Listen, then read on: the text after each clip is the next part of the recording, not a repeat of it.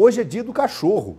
É, você sabia? Dia do cachorro. E para comemorar, a gente foi até Jaú mostrar uma mascotinha é, que mora na sede do Corpo de Bombeiros. É a Julie. Ela foi resgatada de um incêndio, né? E acabou ficando com os policiais e agora virou mascote. Essa é a Julie, vamos ver. Corda de segurança no pescoço, plaquinha de identificação e muita disposição. Só falta mesmo a coragem para enfrentar as mais diversas ocorrências do dia a dia. Mas a Julie, essa vira-latinha de dois anos, já está mais do que ambientada no quartel do Corpo de Bombeiros. Ela fiscaliza as viaturas, cuida do portão e faz vistorias pelo prédio. Eficiência militar. Ela é perfeitamente eficiente. Ela é um alarme para a gente aqui no quartel, na verdade. Né? Ela, como vocês podem ver, ela fica ali na, no portão. Qualquer pessoa estranha que se aproxima, que passa no quartel, ela, ela tem uma reação de não de, de ataque, mas de proteção territorialista mesmo. Né? Ela, ela informa, ela late dizendo que tem alguém estranho no quartel. E parece que esse era mesmo o destino da Julie. Ela foi resgatada em um incêndio e deu um jeitinho de ficar com a equipe que prestou o atendimento. E estavam saindo alguns bichinhos pequenos, calango, lagarto do local, e ela estava até bem com fome, correndo atrás desses bichinhos para comer, né? E na sequência, quando a gente acabou terminando de fazer a manutenção, abrimos o hidrante, né?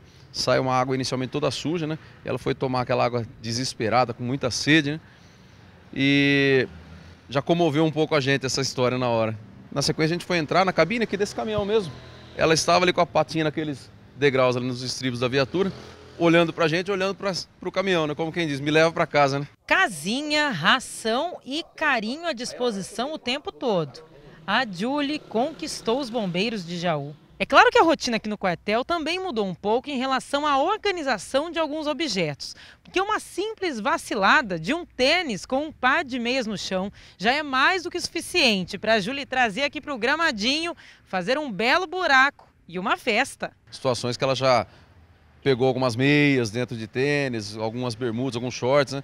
E acabou destruindo, né? Ah, mas não vá pensando que essa vida da Júlia é só moleza. Olha o pique dela para alcançar os bombeiros na corrida. Não que seja um problema, porque a vira-latas dá até umas escapadas para acompanhar. E ela fica inquieta, tá? a gente tentou segurar ela aqui inclusive, mas ela escapou, foi até lá correr. E eu fui buscá-la com, com, a corrente agora. Ela não queria vir não, queria terminar o exercício dela. Quem gosta é a família da Vanessa.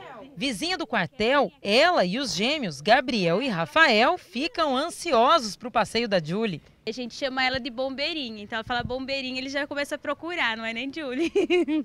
é bombeirinha para eles. E a bombeirinha também é um alarme para vizinhança, né? Também, porque ela vê gente estranha passando ali na frente ou até mesmo aqui na avenida, que ela já está acostumada com a gente, ela late. O portão por onde chegam e saem as viaturas fica aberto às vezes, mas a cachorrinha não sai sozinha. E você lá é boba de perder essa mordomia, Julie?